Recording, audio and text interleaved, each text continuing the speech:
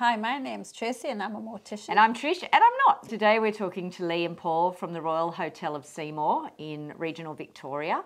Seymour's a little town that's about an hour and a half's drive north of the CBD of Melbourne. And they own a pub there that uh, has some stories to tell. it's an interesting place, so I hope you enjoy this chat. It's an interesting but beautiful place too. It is a gorgeous place. The river there is absolutely spectacular. Uh, we really enjoyed our time with Leigh and Paul. It was a bit, bit creepy, won't lie. The uh, building did give off some vibes. A particular room. Remember when I took them photos and the camera wouldn't work? Oh, yeah, it was weird. So yeah, some interesting things happened. So we hope you enjoy this chat. We're here today with Leigh and Paul. We're talking to them today about some strange goings on at the property. And um, it's it was just a really interesting story. So while we were here in Victoria, we thought we would like to catch up with them, and they so kindly agreed to give us a little bit of their time. So thanks, guys. Thank you. So how long have you been here now? Nine years. Right. Obviously, you live locally. We live just next to the pub. So, what was it about the history of the building that intrigued Yeah. you or interested you? Why why was that on your list of things that when was I think just because I mean we love old buildings and um, I was a, a history teacher. That was one of my areas, and I've always loved history. And it's it's just such a great. It can be used as a, a unique selling point as well. yeah um, which we've done. Um, it this is the oldest surviving building in Seymour. So when did you first get an inkling that there was something more here than what you first bargained on? Well, when talking to the people who uh, who ran it before us, they used to live upstairs, and they'd say, "Oh, you know, we would lay in bed at night and hear kegs being thrown around in the cellar and pots and pans being thrown around in the kitchen and that sort of thing." And we sort of thought, "Yeah, yeah. yeah. So we've had staff say, "Oh, you know, I've had my bum pinched," and Oh really? Oh yeah. Actual touching. yeah. We were sitting at the bar together, and we had a couple of kids sitting with us, and um, all of a sudden, a glass went up into the air, turned on its side, and got put on on the bar, uh, which Ah, That's odd. kind of that's, made us all. It wasn't like a bang; it was like up and down. Oh, Wow. okay. Um, we had all our house wine lined up at the bar, and all the bottles fell off one at a time. Wow. Um, and there was no one anywhere near them. Uh, And these are things that you were both there for. you both yeah. saw. yeah. Creepy. yeah, So- And again, you know, bumps in the night, and bumps during the day, and things like that. Just, just odd things. We, well, Leigh actually decided that it was uh, we might just uh, get someone to come uh, from a paranormal sort of um, investigation and just see what they could find Yeah. as a as a sort of just to see what would happen. And they got really excited. Okay. They found something. And since that time, we've had probably three different groups come here, Yeah. uh, which Not connected. not connected at all, and they've actually had similar stories, very Okay, similar. really? So, yeah. Was there a time where you thought, mm, maybe we shouldn't talk about this publicly and we'll just keep this as our little secret? It's out there. We don't have. I mean, we, we- can't control we're- it now. With a Woman's Day, Woman's Yeah. Day. It must be true. did Oh, an yeah. article, and, and we are the one of the most haunted places in Victoria. Wow. So- Wow. well, that's- you know that's that's according to Woman's Day. I'm not sure how extensive their survey was. Right, Yeah. but you didn't know any of this when you bought the place. Oh, one of the other things that that used to happen even before we did the paranormal investigation, we had a little bell hmm. in the bistro on the bar, but this bell would ring. Staff would go into the bistro and there'd be no one there, but this bell just kept going and, and it was driving everybody up the wall, so we had to take the bell away. So you got rid of the bell. Yeah, Okay, that didn't channel into something else then? um, not, No, not not Didn't really. appear to. All right, so I've read online about room number five. What's Yep. the deal with room number five? So you've got accommodation here, obviously. Yeah, we've got accommodation. Um, we've got a number of rooms that are actually um, we've had some activity in. But room five, there was a guy, a railway guy. Yeah, he and he died of a heart attack, uh, but he lived in that room. Right. and he could see from that room in the early days he could see right over to the railway he apparently stands in the window and watches out of that window Wow. um, and he's a fairly nice guy there's also a prostitute who used to work out of that room um, and uh, she's also in the in there. I'm in a party. Hang on. How do you know the prostitute's in there? What? How does she? When the medium comes, he's got all this equipment, Ah. and so he Communicates. communicates with them, and you can ask using these. I can't remember what they're called. A red light and a green light on them, and so you can ask them closed questions. Are you a male? And they'll go yes or no according to the lights on the thing. And he's worked out, you know, who she is. And, But she hasn't propositioned any of your guests. Not that we're aware of. But, but, But uh, he stayed in that he did, didn't he? And he said there was something in there that was not such a nice entity, but a spirit spent ages sniffing up and down his body. Sniffing him. Yeah. And he protected himself with, I don't know, Yeah. crystals and talismans and all that sort of thing. But he was like find, trying to find a way in to connect with him or something like that. Interesting. Wow. But yeah. Okay. So, but he's the the medium who comes here regularly so there is nothing really sinister in this building. You know, up in the ballroom they're having a party and you know there's some mischief going on, but there's no nothing nasty. Okay, so you have got a beautiful ballroom upstairs. Used to be used for be. all the balls in town. So Deb balls and and you were saying off camera hearings and judicial stuff and yeah, inquests, court cases, right. Sunday services. The Archbishop of Melbourne preached Ooh. here. Okay, and so there's also an area that you indicated before used to be a morgue and uh, a police lockup. Yep. So the buildings had lots of different lives. Post office, police Post lockup, and uh, definitely the morgue. And everyone knows it as the morgue. Yeah. Right. Wow. Okay. So, yeah. It's a storeroom now, and it's directly across from the room that we're in now. And the the mediums who have been here have all said that the area of highest activity is between the morgue um, and the window of this building. In front of the fireplace, there's a lot of paranormal activity. Personally, the two of you, what have you experienced here, apart Mm. from the bell and the things that you've spoken about? For me, I've not been uh, worried about this place at all. Been through the whole property. I mean, it does get a little bit scary when you go down in the cellar, Temple of Doom. Wow. There Yeah. it is. And the cellar runs from one side of the building to the other. And it's uh, quite a interesting area. So So Um, you, you've been right through it at night, Yeah, You've right through. always- I've not been. I have stayed in every single room in this building, have you? Oh, wow. including the ballroom at night. Really? Yeah. there's often in the doghouse. That's that. So, I was going to ask, but I didn't think I should. this is the biggest dog house in Seymour, and everybody. yeah, but in it's a pub, so that's brilliant. Yeah, yeah, no, that, and everyone in Seymour knows about it too. Vanished to the pub. I mean, all of this aside, it must be pretty cool to own a pub.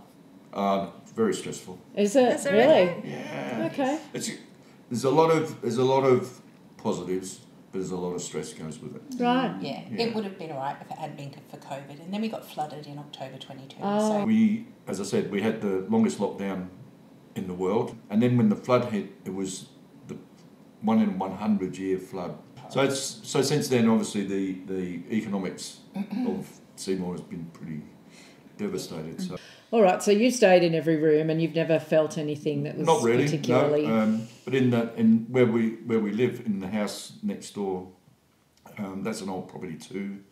Um, I have had experiences where I've had I've been on my bed, asleep, and felt somebody come and lay next to me or sit on the bed. Um, I've often thought, you know, I thought it might be the dog or Leigh had come up from downstairs or whatever, but there was no one there. Wasn't the lady from room five? Oh, poor- maybe, she- yeah, maybe. Maybe she followed you home. Well, yeah, well, it was called the Love Shack at one stage, wasn't it? So when the paranormal investigators come in, they bring all their equipment. And they take tours through too, don't they? The, the medium comes um, through Twisted History, um, the company comes. They send one or two mediums, um, and they can have groups of um, up to 10 that they'll take around the pub and they'll go to different rooms and use their equipment. They have dinner here first and talk. Um, they, they show the equipment, which in this room sometimes works and sometimes doesn't. The medium says that there's a group of about three or four guys who stand at the at the door and laugh their heads off because they think it's hysterical that they're all hunting ghosts and they're standing, They're standing right right at the door. there. They've got a good Um, sense of humour. But they they um, they turn off the equipment and they run the battery low and all of that sort of thing, and you know it'll work and then it won't, and Make it will, and it mischief. won't. and and they say, look, we've got full batteries, they're brand new batteries and everything, and now they're flat. Um, okay, so you were telling us about you saw a man out in the Yes. courtyard. Have you seen what else have you seen around the place yourself?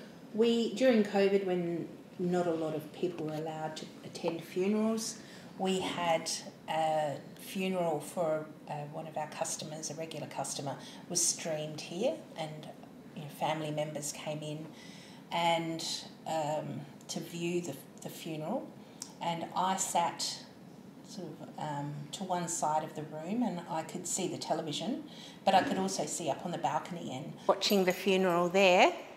And I looked up there and there was someone standing right up there. Just there, like close. Yes, that close. And he saw me looking at him and turned and walked that way. He was watching the funeral, and as I looked up, he looked at me and turned around and walked away.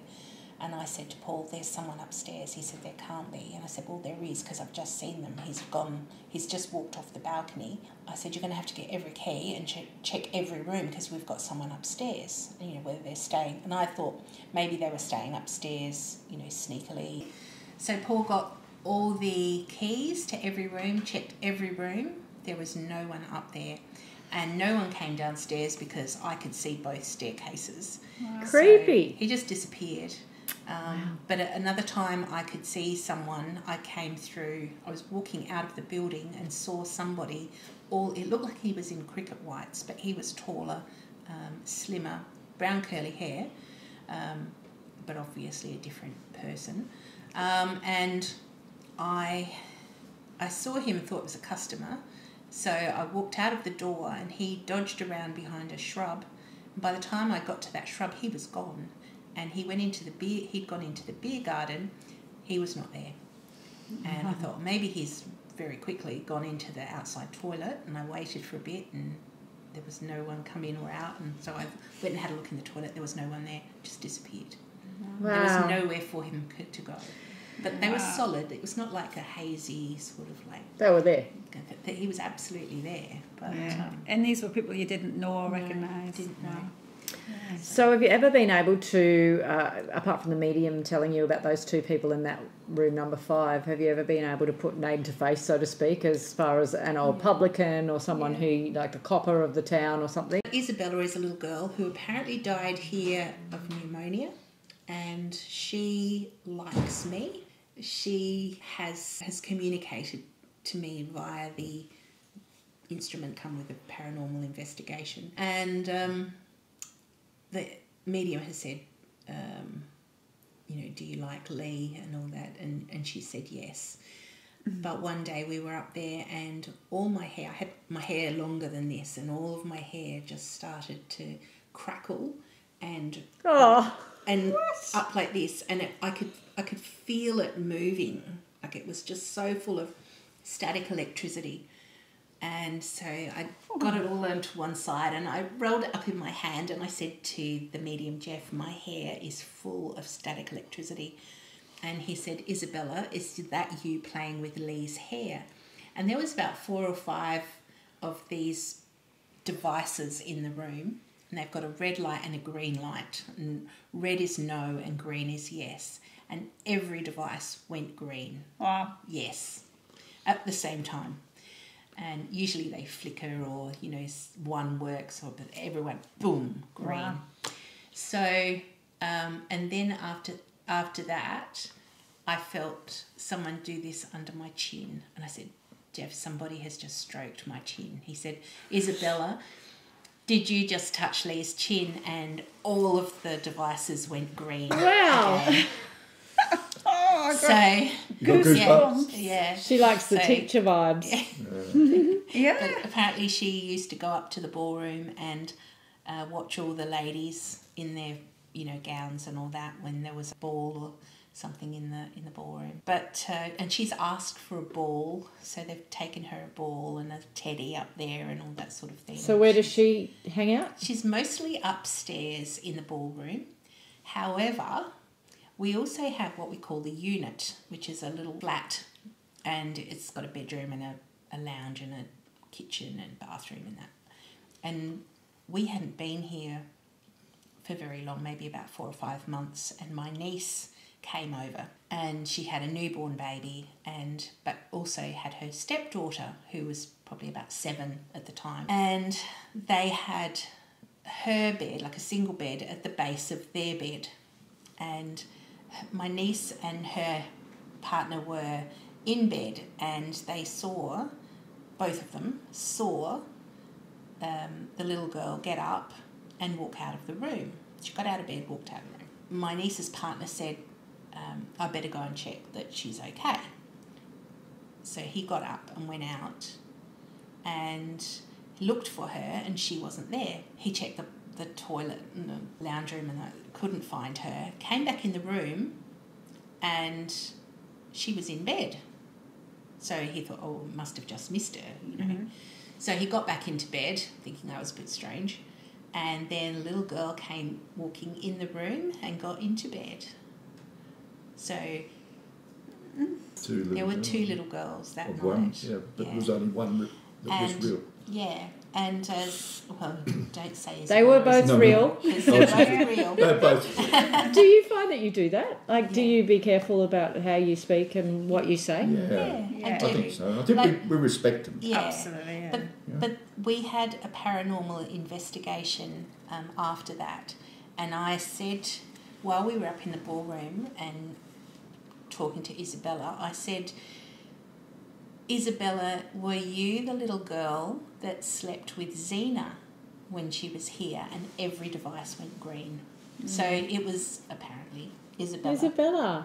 But we've had, in answer to your question, we've had other paranormal investigators come and I've said, just don't upset them. Look, we everything's nice here. Everything's everyone's happy. Mm-hmm. There's nothing sinister. There's nothing angry.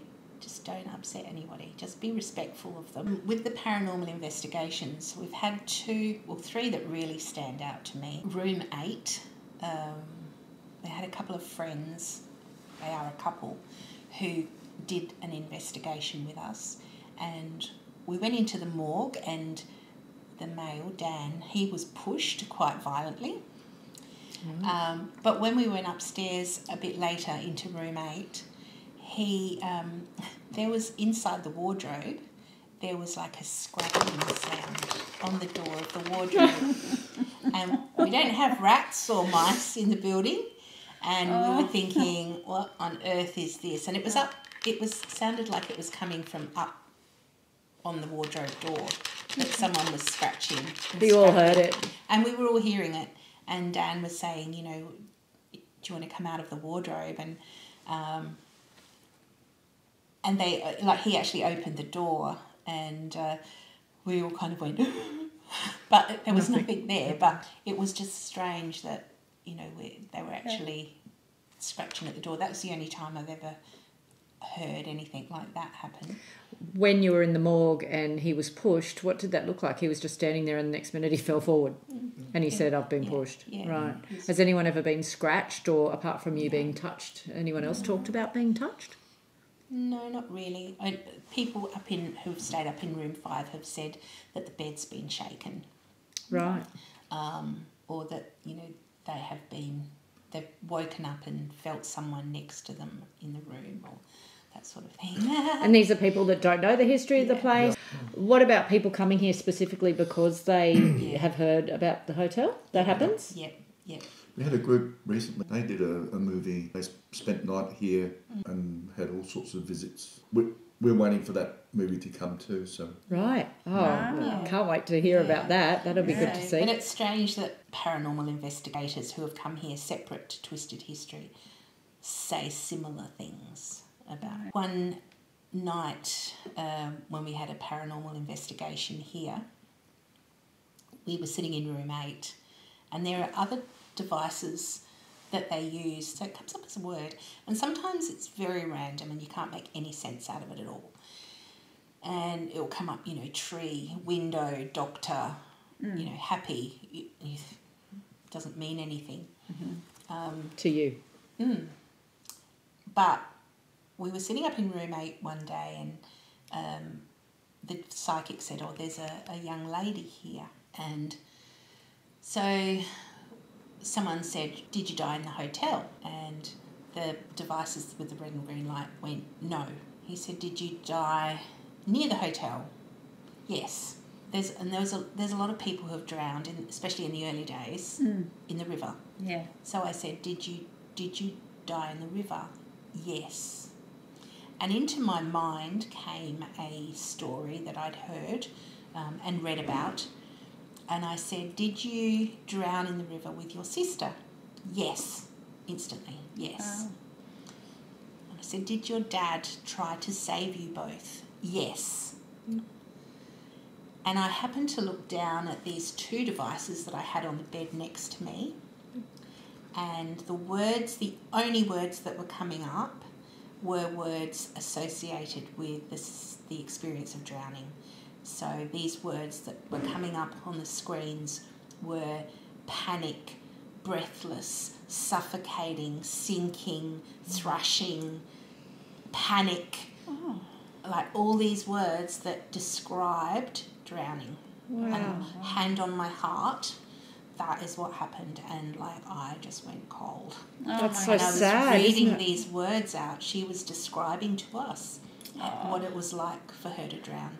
Wow, and that's the thing heartbreaking. too. It's it's it's you know quirky and people get a kick out of it and all that sort of stuff. But mm. generally, these are stories linked with real mm. people, and you can trace them back in history, and Yeah. Absolutely. and they're horrific. Some of yeah, them. but that, that story just popped into my head as well about the, the girls who drowned in the river. Mm. And but it, the psychic came up to us one day. One they'd gone down into the cellar.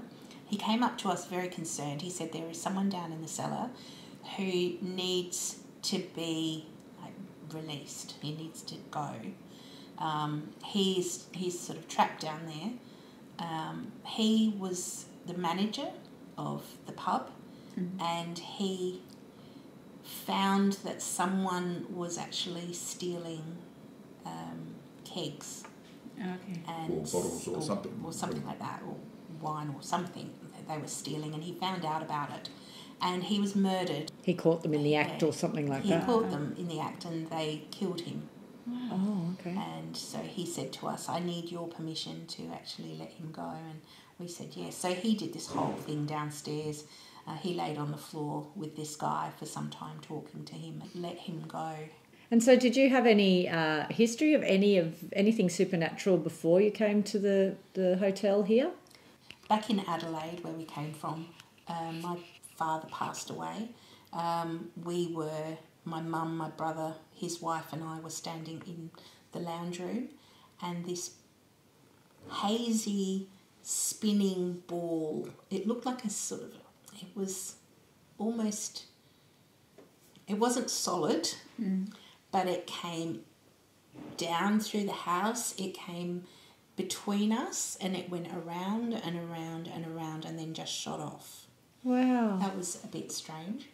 But we also had um, a squeak that followed us around, and we always said it was Paul's mum A squeak followed you. letting Yeah. Right, that she I Tell was know us- it sounds weird. Tell us about the squeak. Yeah. Was that when you were here or previous? Both. Both, yeah. Okay. She came with us. So um, yes, so what what used to happen was um, my mother passed away, and when I came back, from, uh, she was in England. I came back to Australia, um, and then all of a sudden, I, there was a, a squeak manifested itself from I have nowhere. I've got no idea from what or where. sounded like a little dog toy. Um, the dogs wouldn't respond to it at all. Even though they, they would get very excited about squeaky toys. Yeah, Yeah. they- but they didn't respond to it. We were the only ones that could hear it at the time. It would it would come when I was out shopping.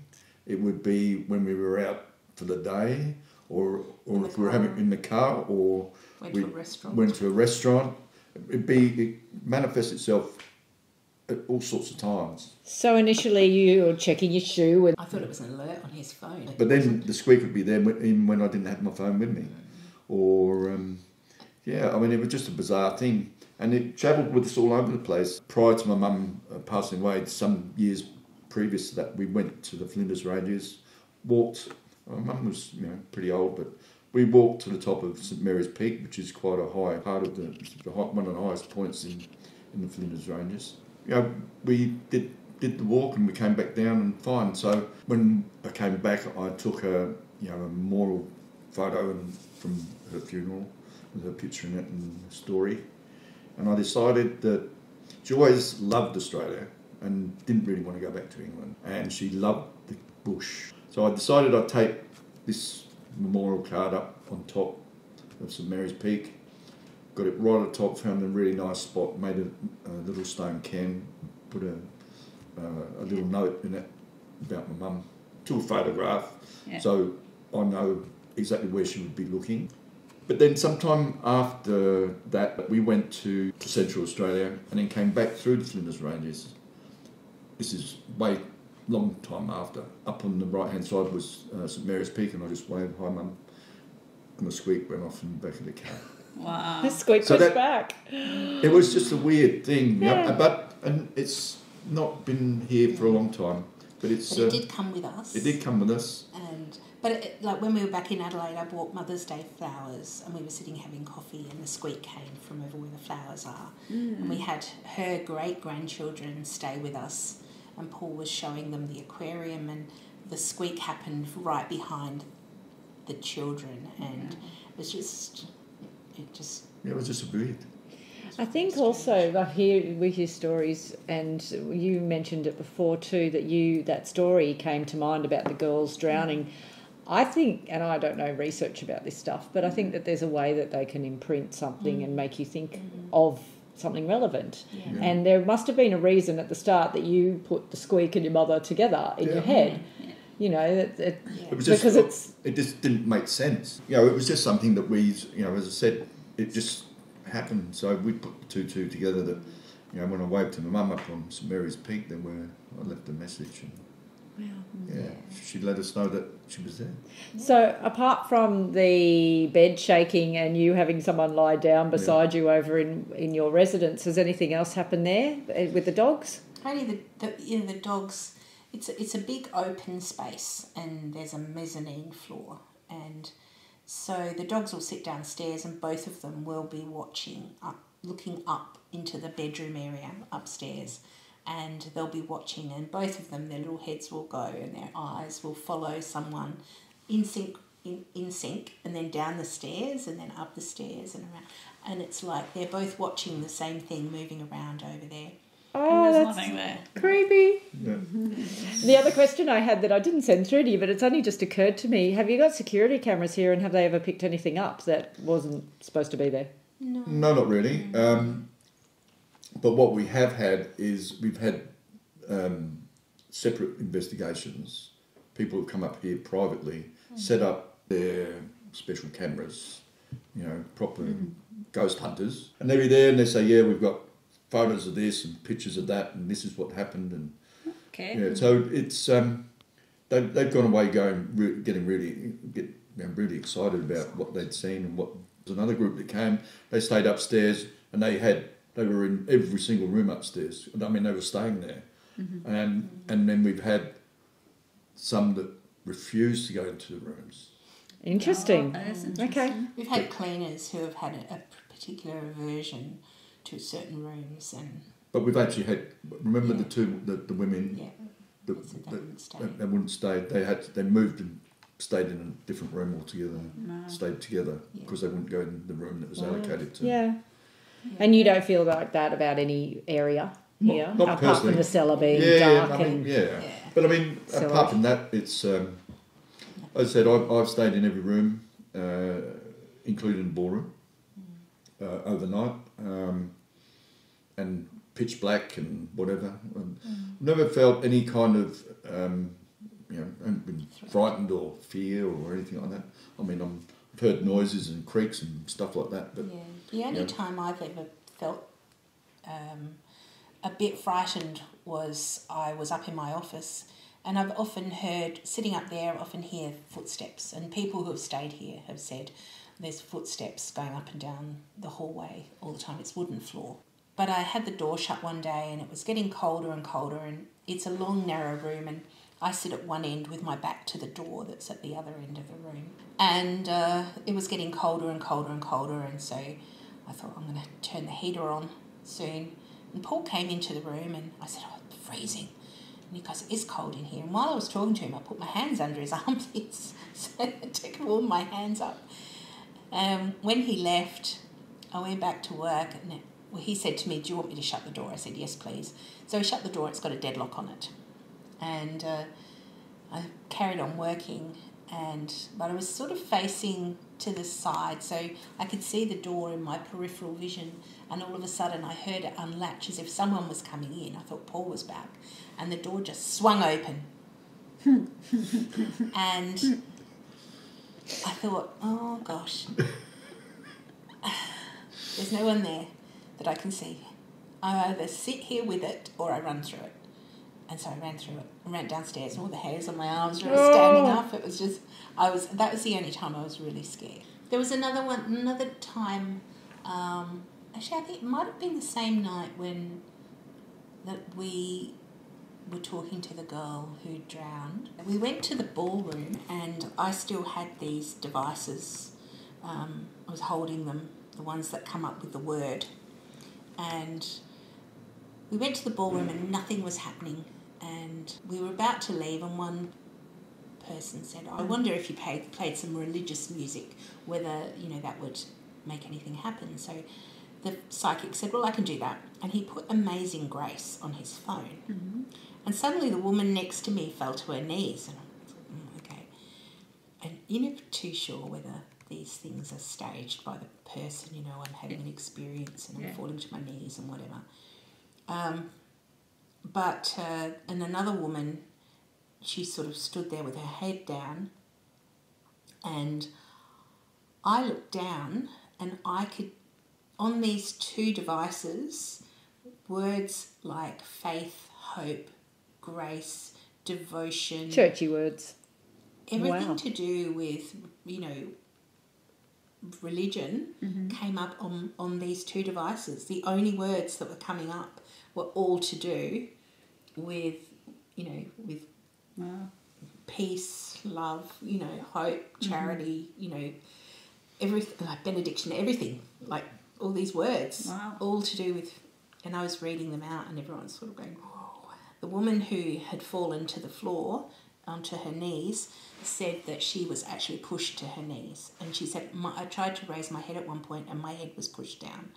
There was another woman there who was standing with her head down, and she I had noticed that tears were falling out of her eyes faster than I've ever seen anybody cry before, like just tears, just falling.